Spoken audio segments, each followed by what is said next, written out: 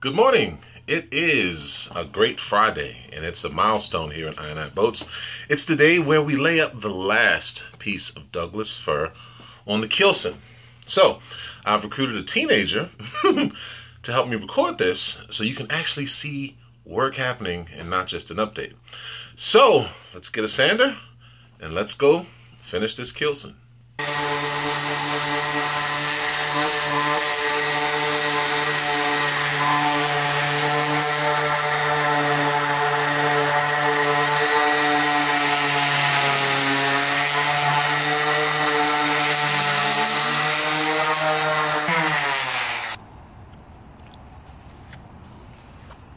So I've sanded this before, but I just wanted to lightly sand it again because it sat outside for about a week or so.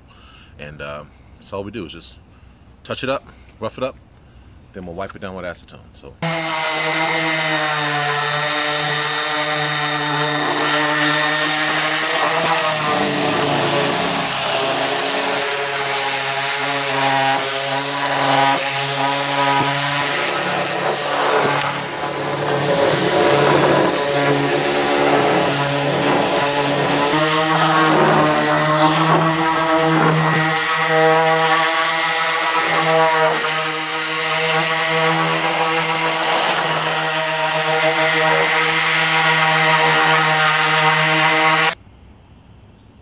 All right, so we've sanded up the board that's going to go on top of the layup. So I glued this up yesterday. So we want to take the clamps off and we're looking for, you know, any glue that may have run down. So we're going to take these clamps off. Then we're going to lightly go over this board take down any glue.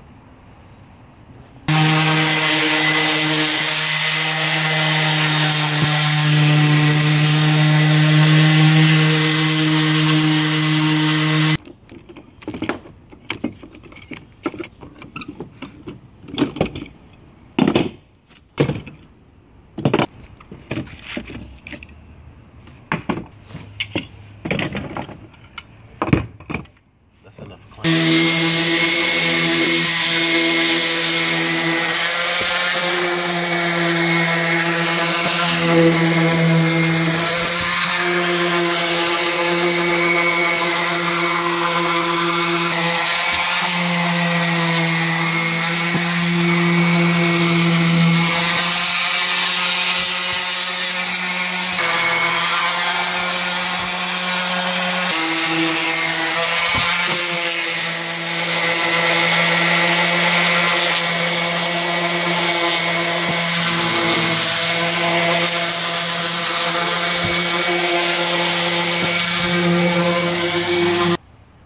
So now that we've lightly sanded everything, I've removed any excess epoxy from the previous layup.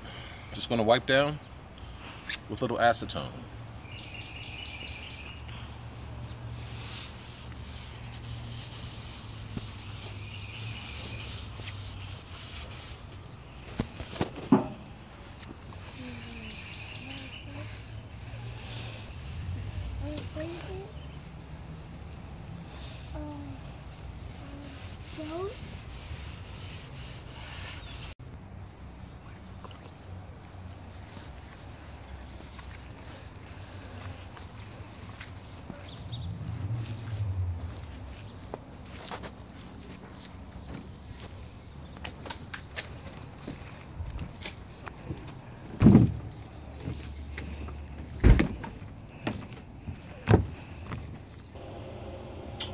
Back inside, getting my roller ready because I like to roll on my thickened epoxy.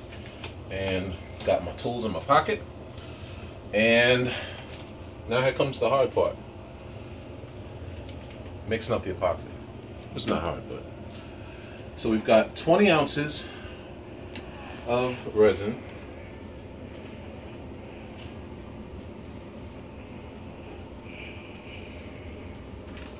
And four ounces of hardener.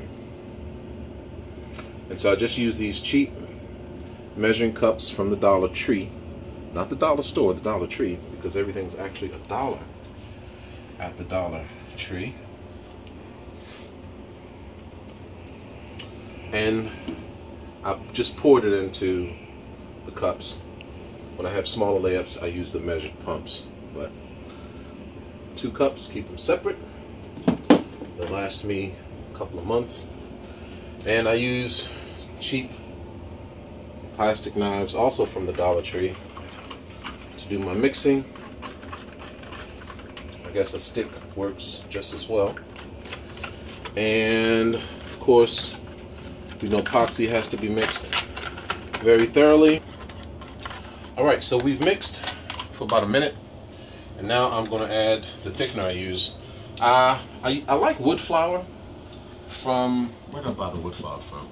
From Duckworks, but I didn't have time to order anymore, so I've just been using this microfiber adhesive 404 West Systems.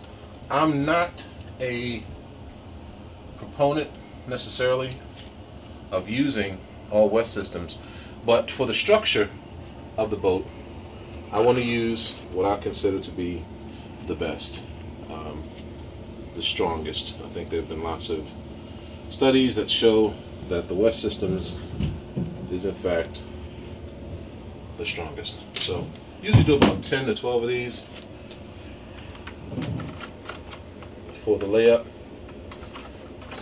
So again, thanks to the magic of filmmaking. Voila! We've got thickened epoxy. I like this sort of loose porridge texture. It allows me to roll it on and gives me good working time. And so, I've got about, from this point on, I've got about maybe 15 minutes to get this on. So, let's get outside. And here we go, thicken with a roller. Doesn't really roll it, just sort of helps to spread it. And I like to get it to where it's just white.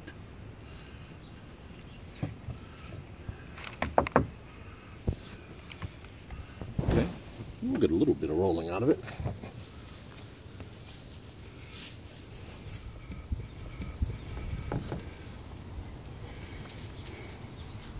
This is very messy.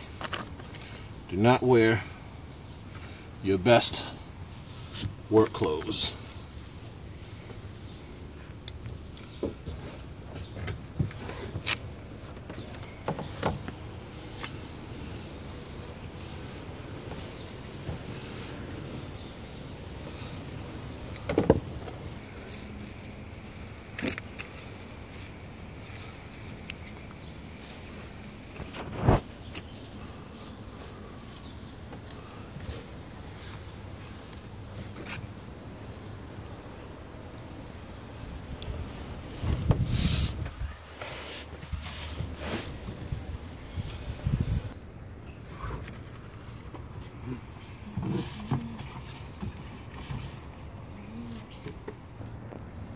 All right, so we've emptied the pot out and just put it on, you know, as thick as we can.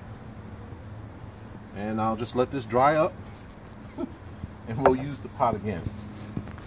Every layer of epoxy that goes in here just makes this thing a, into a brick. So as you can see, we've got both pieces thoroughly wet out, nice and sticky. And yeah, some of the plastic will get caught up in it, but oh well. My advice is to just get as much as you can off your roller. You don't want to waste it. Then I like to take the roller off right after I'm done, because if not, it would pretty much get stuck. The cover will get stuck. And now, here goes the hard part. Clamping this thing up. So luckily today it's overcast and not too sunny out. So the glue is actually going to last a little bit longer than normal. So what I like to do, sometimes work my way from one end to the other or right in the middle. And today I'm just gonna start where I am.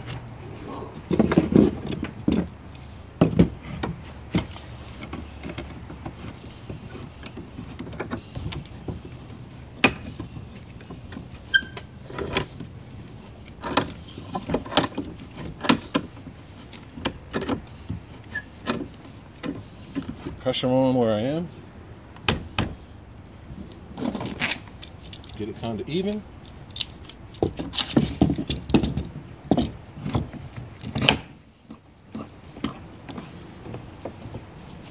Then work my way down.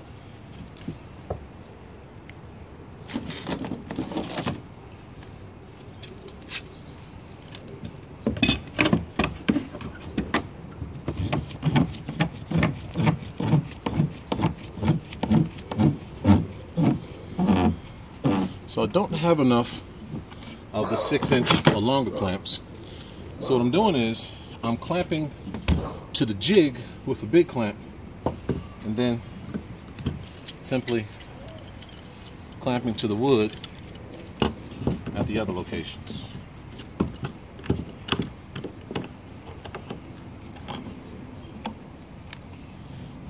Voila.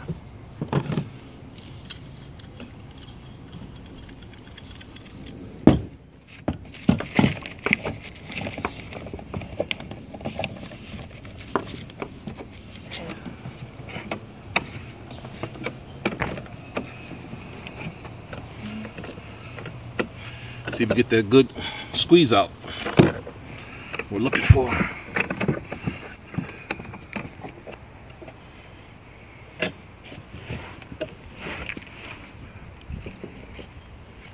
So we've got it clamped up.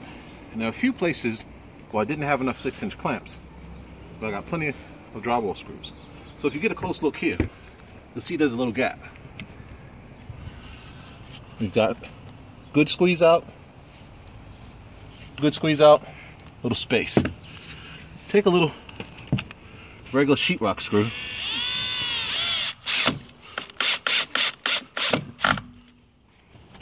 Voila.